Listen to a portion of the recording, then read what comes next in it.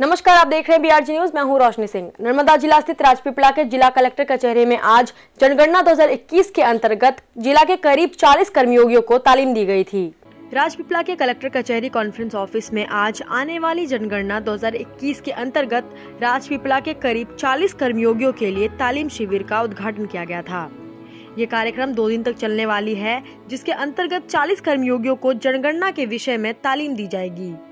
उन्हें यह भी बताया जाएगा कि भारत में जनगणना 10 साल में एक बार किया जाता है, जो कि चुनाव से ज़्यादा महत्वपूर्ण माना जाता है। साथ ही एडवांस टेक्नोलॉजी का भी उपयोग किया जाएगा।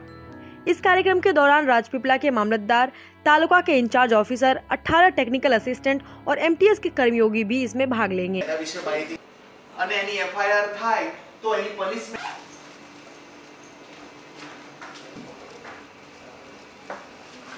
અંદર જે જોગવાઈઓ છે એના આધીન સેન્સે એમાં ऐसी ही ताज़ा तरीन खबरों से अपडेट रहने आप हमें YouTube, Facebook, Instagram और Twitter पे सब्सक्राइब लाइक और फॉलो करना ना भूलें